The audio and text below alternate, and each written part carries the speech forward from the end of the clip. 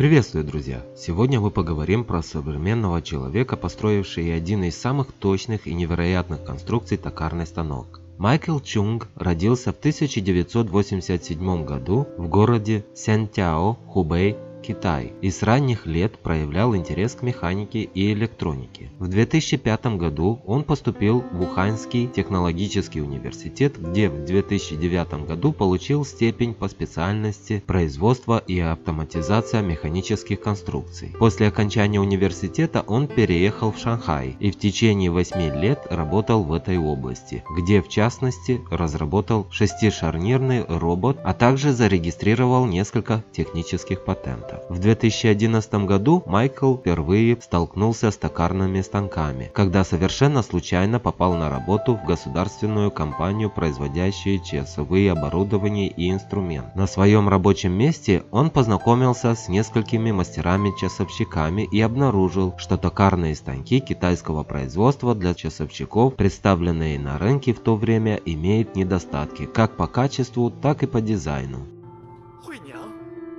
В результате токарные станки, которые он использовал, часто не справлялись со своей задачей и приходилось использовать станки с зарубежных рынков. Но и эти импортные токарные станки было трудно найти, они отличались по качеству и имели проблемы с центровкой. К ним было трудно подобрать комплектующие и отсутствовало послепродажное обслуживание. В результате Майкл решил разработать и изготовить токарный станок для часового производства, который был бы доступен по цене и имел широкий ассортимент принадлежностей и обеспечивал высокий стандарт точности. В 2016 году он вернулся в Ухань, чтобы организовать свой бизнес. За время своего существования токарный станок CZ50 сменил 5 поколений. Кроме того, он разработал несколько других специализированных станков, таких как фрезерный станок с ЧПУ для часового производства, настольный сверлильный станок и другие станки по индивидуальным заказам клиентов. Рост бизнеса бизнеса привел к тому, что он нанял небольшую команду высококвалифицированных специалистов. И все это при том, что ему всего 35 лет. Один из недавних покупателей CZ50, профессиональный часовщик, пишет «Вот что я знаю и почему мне нравится токарный станок CZ50 Майкл Чунг. Он чрезвычайно точен и хорошо сделан. Современные усовершенствования, такие как индексатор с ЧПУ, фрезерная приставка с питанием, резьбонарезной станок с ЧПУ и фрезер фреза помогает упростить настройку и сократить время выполнения сложных операций, да и просто делают все быстрее. По моему опыту к передней и задней бабкам подходят цанги Шаублин B8, а к фрезерной приставке цанги типа ER11. Крестовина сделана очень хорошо и я не испытываю никаких люфтов. Кроме того, она устроена так, что позволяет использовать цифровые индикаторы на перемещениях по X и Z. Когда я покупал свой токарный станок, его производитель был малоизвестен, и это немного пугало, поскольку платить приходилось по безналичному расчету. Цена составляла 5500 долларов, плюс аксессуары за дополнительную плату. Я полагаю, что каждый токарный станок собирается по заказу. Передняя бабка, задняя бабка и поперечный стол вытачиваются под индивидуальную станину, а детали имеют одинаковые серийные номера. После оплаты половина стоимости стоимости покупки вы получаете серийный номер.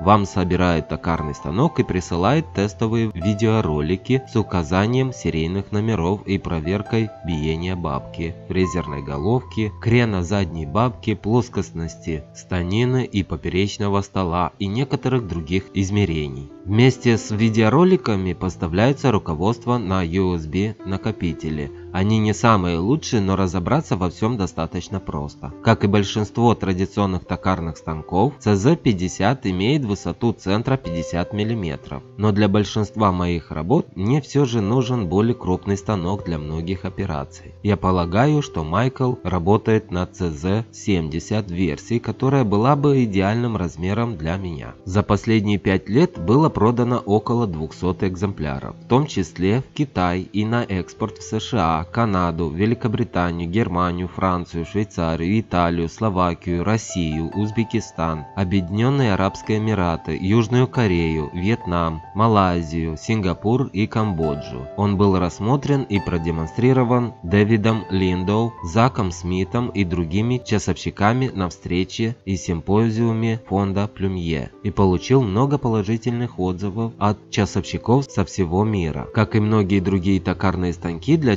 часовых мастеров после 1945 года, CZ-50 устанавливается на тяжелую и жесткую станину и был оснащен встроенной системой привода и распределительным устройством.